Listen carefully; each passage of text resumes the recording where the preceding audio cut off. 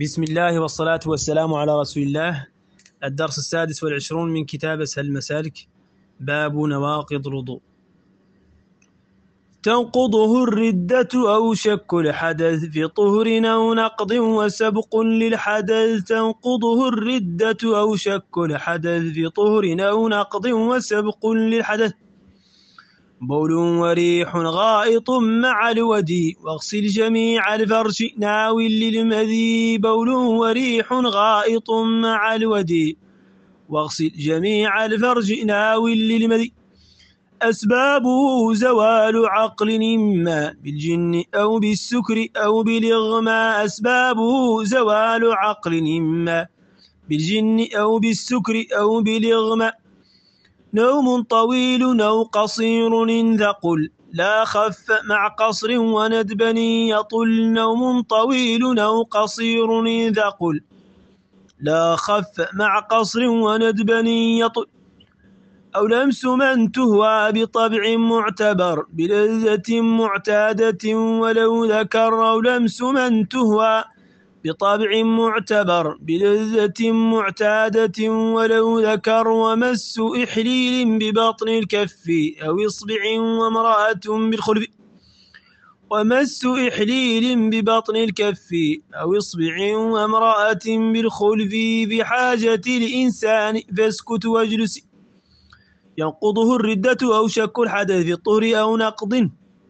وسبق للحدث بول وريح غائط مع الودي واغسل جميع الفرج ناول للمدي. أسبابه زوال عقل إما بالجن أو بالسكر أو بالإغماء نوم طويل أو قصير إن ثقل لا خف مع قصر وندبا إن يطل أو لمس من تهوى بطبع معتبر بلذة معتادة ولو ذكر ومس إحلل ببطن الكف أو إصبع. وامرأة بالخلف في حاجة الإنسان فاسكت واجلس. رحم الله من دعا لنا بخير. الرحمن الرحيم. الحمد لله رب العالمين والصلاة والسلام على سيدنا محمد الأمين نبي الأنبياء وخاتم المرسلين وعلى آله وصحابته والتابعين لهم بإحسان إلى الدين. الدرس السادس والعشرون من كتاب أسهل المسالك باب نواقض الوضوء. ينقضه الردة أو شك حدث في أو نقض وسبق للحدث يعني أن نواقض الوضوء وهي مبطلاته والنقض هو هو رد الشيء على أصله. فمعناه أن الإنسان سيرجع محدثا لأن الأصل هو عدم الطهارة فسينتقض الأمر. كما ينقض الإنسان الحبل أو أو الشيء المفتول أو الشيء المنسوج إلى أصله. ينقض ولا تكونوا كالتي نقضت غزلها بعد قوة أن كانت تتخذون أيمانكم دخلا بينكم. ينقضه الردة. أعوذ بالله. بل هي مبطلة لجميع الأعمال مبطلة للغسل مبطلة لجميع الأعمال قبلها.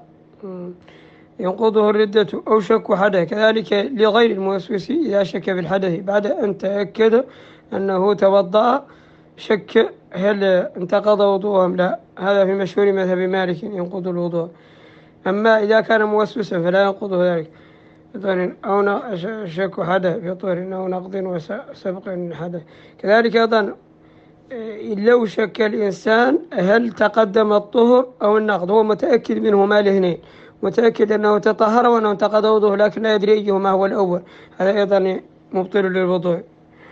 بول وريح. كذلك من توضأ وبعد ذلك خرج منه بول متأكدا وكذلك الريح سواء كانت بصوت أم لا وكذلك الغائط وهو ما يخرج من الدبر فإنه ينقض الوضوء.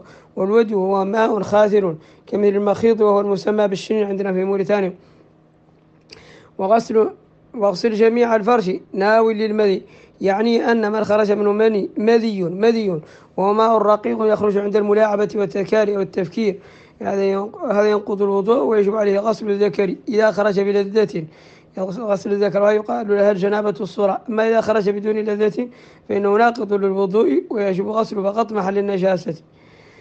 أسبابه زوال عقل إما بالجن أو بالسكر أو بالإغماء أسباب هناك نواقض واضحة وتقدمت أما النواقض السببية وهي بما أن الشرع حكم بأنها نواقض لأنها سببية لأن الإنسان يغطي عقله. قد يخرج منه كم من حدث ولا يشعر. فلذلك حكم الشرع بأنها نواقض. أسبابه زوال عقل فمن زال عقله سواء كان بسكر أو بجن أو بالإغباء فإنه ينقض الوضوء. فالجن كمن من جن يعني سواء كان بطبع كمن تغلبت عليه الطبيعة السوداوية أو الصفراوية حتى آه، خرج عن اعتداله وغاب عقله. أو بالجن كمن من ضربه جن وغاب عقله. أو بالسكر كمن من شرب خمرا فغاب أو بالإغماء كمن من أصابته حمى نافض حتى غابت عقله أو ما يفعلونه الآن من التنويم فإن ذلك كله ينقض الوضوء. نوم طويل. كذلك أيضا النوم الطويل أو قصير تقول لا خف مع قصر وندب يطول. هذا هنا آه، الناظم رحمه الله تعالى في نومه تشويش قليلا. قال نوم طويل. هذا مطلقا سواء طويلا أو قصيرا هذا ما هو المشكلة. المشكلة الفرق بين الخفة والطول آه، الخفة والثقل فإن كان ثقيلا سواء كان قصيرا أو طويلا فإنه ينقض الوضوء. وذلك الثقيل بأن يكون إنسان غاب عقله. ومثلوا ذلك بمن آه، بلغ درجة حتى إذا كان سال منه الريق لا يشعر بها. أو إذا انحلت حبوته وهي معنى ما إذا كان رابطا يده بيد وانفصلت بحيث لم يشعر. أو سقط ذقنه كان جالسا أو أو أو على أو متكئا شيء ما وحس أن ذقنه شعر سقط. وما وما تنبه لذلك حتى حتى حتى حتى زاد على على الوقت على وقت السقوط أو حل الحبوت أو على وقت سيلان الريق أو سقطت منه سبحته أو كتاب كان في يده ولم يشعر بذلك إلا بعد السقوط. معناه ما ما شعر مباشرة بوقت السقوط. هذا هو الثقي. سواء كان طويلا أو قصيرا. لكن يبقى لنا كيفية الندب. إذا كان الطويل الطويل يعني خفيفا يندب منه الوضوء وإن كان قصيرا لا يندب منه الوضوء. هو الفرق بينهم. نعم. نوم طويل وقصير إذا قل أخف مع قصر وندب يطول. لا خف. لا خف. هو ظهرت أنه إذا كان خفيفا مع القصر ولا لا ينقض وأنه إذا كان طويلا ولو ولو ولو ولو خفيفا أنه ينقض. ولكن هذا غير صحيح. هذا غير مشهور غير صحيح.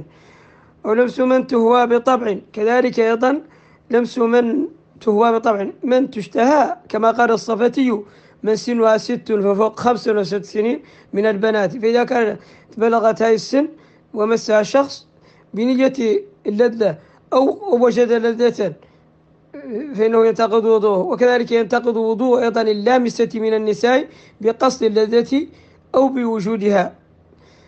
لا إن فقد القصد والوجدان بأن آه، تشاجى ما تماس في طريق ولو قصدا ولكن ما أراد ما أراد الشهوة ولم يجدها فإنه لا ينتقد وضوءه ولكن قد قد يكون آثما بنيته وقد لا يكون آثما إذا كان واقعا عن خطأ